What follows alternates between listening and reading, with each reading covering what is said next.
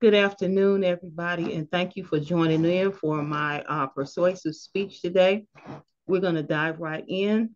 Uh, today's subject is about building a case for discipleship ministry in the church, fulfilling the Great Commission in the 21st century.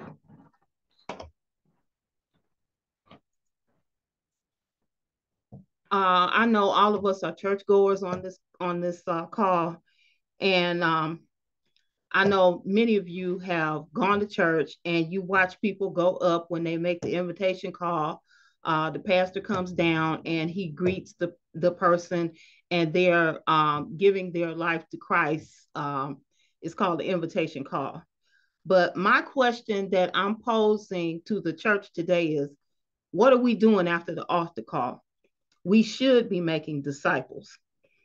Now, uh, there's several different um, terminologies that uh, people uh, view discipleship in many different ways. And these are just two definitions that I saw in my research.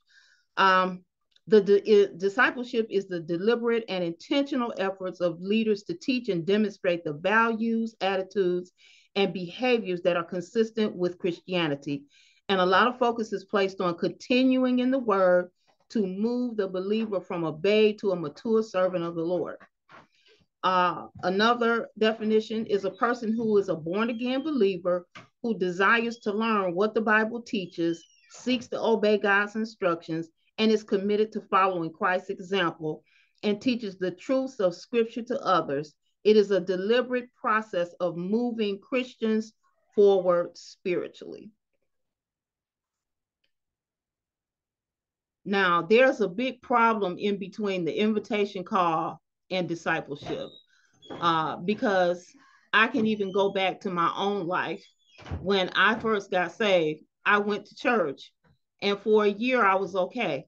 But when I went to church, there was no uh, set way of coming into the church and having someone mentor me in the word. We were told and preached at what we should do, but there was never anybody there to demonstrate or to actually sit down with us in the word and show us how we were to live the Christian life. Uh, all we knew was that we supposed to go to church and we supposed to tell other people about Jesus, but we never got the rudiments of what it takes. We never had a strong foundation laid in us to keep us on that straight and narrow path. So, what was the problem? Current research is suggesting that the church has failed to adequately disciple congregants, which leads to the following problems. A pronounced decline in biblical literacy. People don't even know the books of the Bible anymore. They don't know the Old Testament, the New Testament. They don't know anything about how to study. Um, and so there has been a decline in biblical literacy. Uh, there's a growing exodus of believers from evangelical churches. Now, the evangelical churches are the ones that are known for evangelizing. They're the supposed supposed to be the ones with all the gifts in operation, but yet people, uh, especially millennials, they are leaving the church, and these are believers that are leaving the church. Uh, and it, there's an acceptance of inactivity among evangelical Christians. People don't want to work in the church anymore. They don't want to usher. They don't want to be in the choir. They don't want to make a commitment to serve in the ministry anymore uh, there's been a de-emphasis on discipleship training in the church. And younger evangelicals are leaving the church in search of truth. Now if the bible is supposed to be the ultimate truth why are younger evangelicals leaving the church in search of some other truth?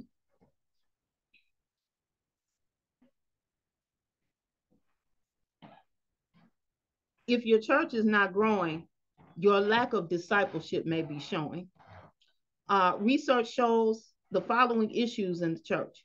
There's been, and this is up to date research, 22% drop in percentage of families who bring their kids under 18 to church. There's church volunteerism is down 21%. Sunday school involvement is down 17%. As a matter of fact, I don't know anybody, and most of the people that I know are Christians.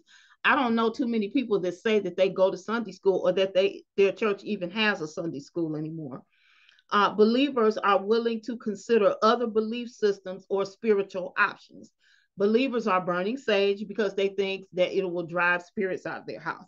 that's one of the ma- major examples of people considering other belief systems. Then there's other people that are now into ancestral worship. They're going back to the uh, old uh, religions like uh, uh, in the uh, in, uh, a lot of the African traditional things that they used to do. People are going back into that. People are willing to pursue faith in structures that are not the typical church. People are willing to go anywhere and they're calling a lot of things church that are really not church. 72% of people in this survey said that they are more likely to develop their own religious beliefs. So people are just kind of doing what they want to do. And all of these are not people who were unchurched. These are people who were in the church, but they were never made disciples.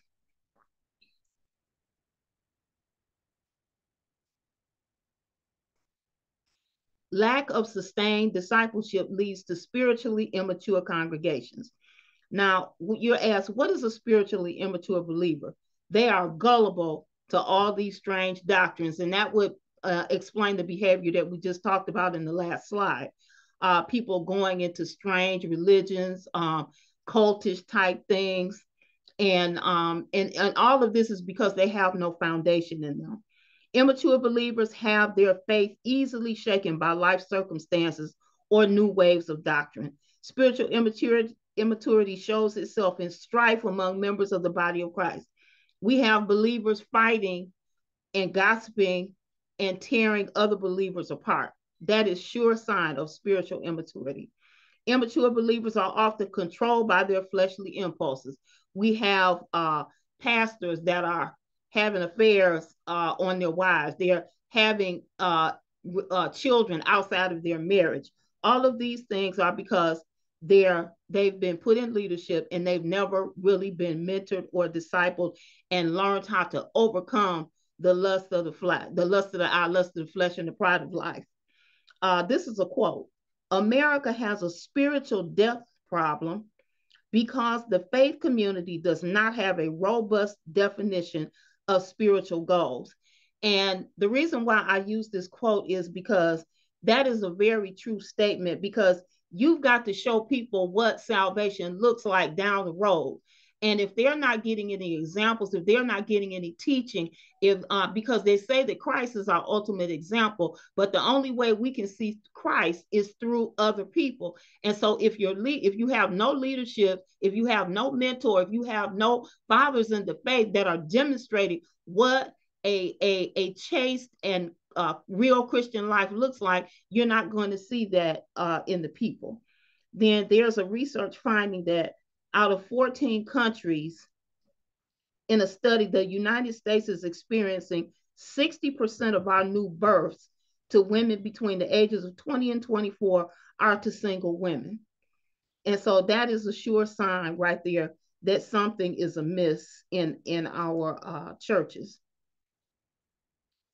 This is what the experts are saying. Now, this was a study that was done on some on a lot of pastors and people who are experts in the religious field.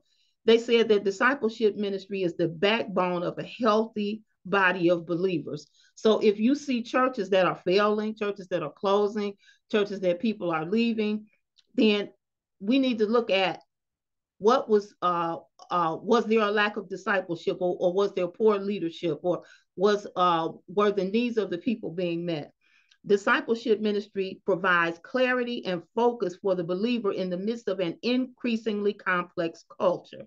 Uh, we know that there's so much going on in the world right now, and we really don't know what to believe because there's so many false doctrines, false teachers.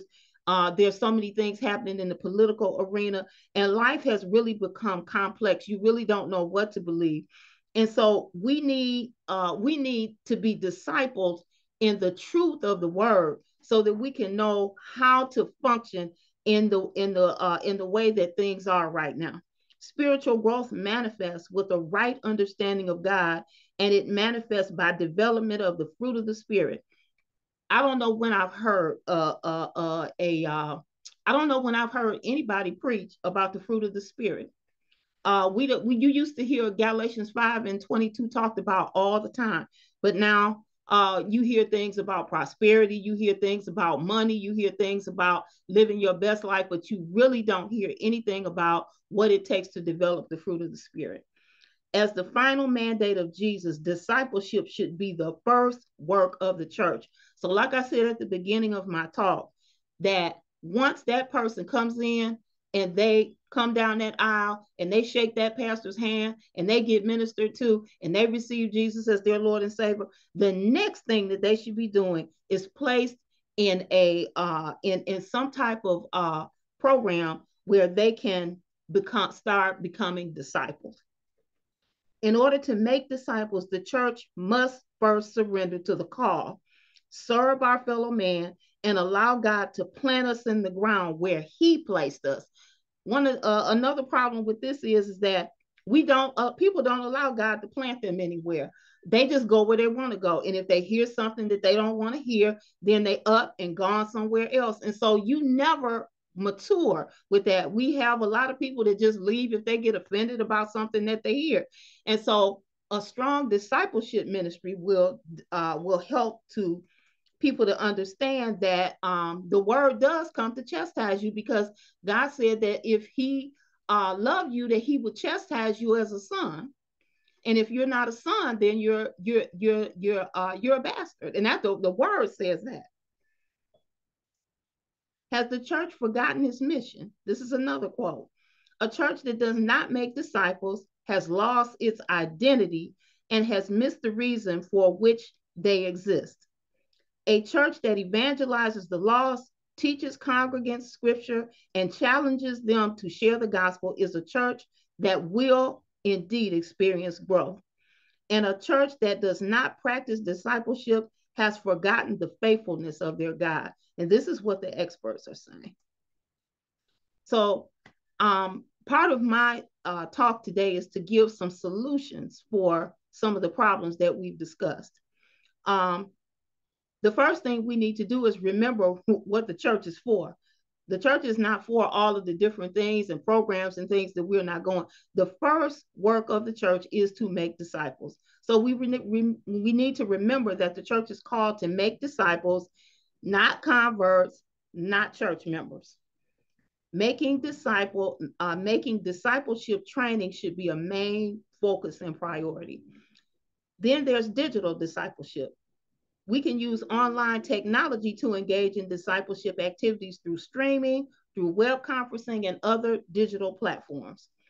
We need to create online groups that foster connectivity among teachers, students, and the curriculum content. So in order for a uh, an online group, discipleship group to work, you've got to have connectivity in three different places. The teacher to the student, the students to each other, and the and connect the student to the curriculum. So all of those connections need to be going on in order for there to be a harmonious type uh, community so that people can learn in one another because we learn from one another. We learn how to be strong disciples from connecting with each other, being an example, and holding each other accountable. Engage students through communicating Christian presence and cultivating an atmosphere of hospitality. Um, people don't want to be told about their sins every time they show up. You need to have more in your curriculum than just talking about, uh, well, we don't fornicate, we don't do this or that. Well, you're telling me what not to do, but tell me what to do. How do I live this life? How do I overcome difficulties? How do I deal with my weaknesses? How do I deal with my relationships? These are all things that we need to be taught in a discipleship training. Uh, we need to create training that teaches intentional following, following of Christ and provides for foundational and theologically grounded material that is essential for a more spiritual walk. So the discipleship training is teaching your uh, pupils how to live after the spirit and not after the flesh. Uh, we need to engage some new spiritual metrics. Uh, what I mean is we need to create and use curriculum that does more than teach participants to follow Bible rules, and live a moral lifestyle. There is more to life, to a, to a Christian life, than just following the rules in the Bible and living holy. There's a whole lot in between that. Participants need to be taught to communicate with God through prayer and cultivate a real relationship with Jesus. Um, you can say, Do you have a relationship with Christ? And people don't even know what you're talking about. So that's uh, another area that we really need to cultivate is telling people that although you can't see Jesus, he's there for you and he's the one that he's your paracletos. He's the one that comes alongside you and comforts you and talks to you and walks with you and carries you through your difficulties. Participants should be taught how to apply the scriptures to their daily life and circumstances.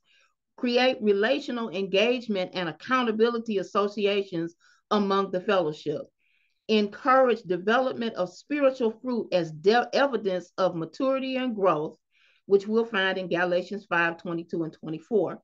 And we should use culturally sensitive and adaptable methods of teaching. Uh, the long lecture is is is dead. Uh, people's uh, people's attention span is not that long anymore. So we don't need no, anybody standing up over us giving a long drawn out boring lecture. It teaching has to be interactive. Now you have to come where the people are. You have to give people a chance to ask questions and get their and and and get their needs met. They may have a question and if you have a two hour lecture and then they leave and never got a chance to have their question answered that's not good discipleship training. And then we also need uh, to work along with our evangelistic team to create a continuum of care and community for new converts. And when I say continuum, I mean as soon as the evangelists bring those people in, there needs to be something in place to keep them uh, to keep them engaged because coming to church on Sunday is not enough. You need to have touch points with them all during the week. Uh, some churches have cell groups and things like that. And uh, Wednesday Bible study may not even be enough. You uh, new members class is not enough. You need to have somebody who will call and check on them and say, "Hey, how are you? Uh, out, we were glad to have you at church Sunday. Are you coming? Do you need anything?" And so, it creating a spirit of welcome and hospitality.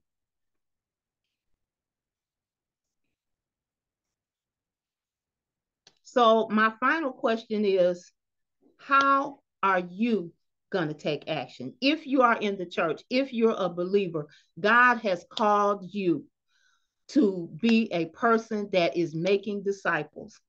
So, how are you going to take action? Is my question. The first step is to re- is to surrender, and then you can repeat this prayer. If you'd like to unmute and repeat this prayer with me, I would appreciate it. If not, I will just say it over you.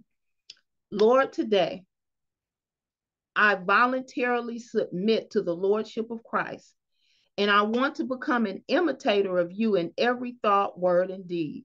I will do my best to share the good news of the gospel and fulfill the mandate to go into all the earth, teaching and making disciples of those who choose to believe. I surrender my gifts, talents, and treasures to be used in the service of advancing your kingdom in the earth. I promise to lead my flock away from the worldly idolatry of prosperity, popularity, power, and praise of men. I commit my efforts to the building up of the body of Christ through teaching, leading, and modeling your ways in my daily walk. In Jesus' name, amen. And then when we do that, I got my slides mixed up here, but when we do that, we can look for a mature body of believers. And can you imagine what that looks like? A mature body of believers are people who are transformed into the image and likeness of Christ, which is the ultimate goal.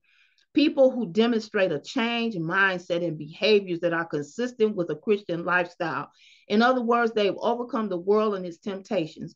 People who demonstrate the love of Christ, even in negative situations people who share the gospel with the lost with zeal and excitement, people who volunteer to serve others in the ministry and the community, people who demonstrate faith and endurance in times of testing and tribulation, people who openly proclaim and defend the gospel against false teachings and ungodly practices, and people who can live and coexist peacefully among the brethren, people who have surrendered their gifts talents, and aspirations to the fulfillment of godly purpose. Can you imagine the power of this church? Thank you for listening to my talk today.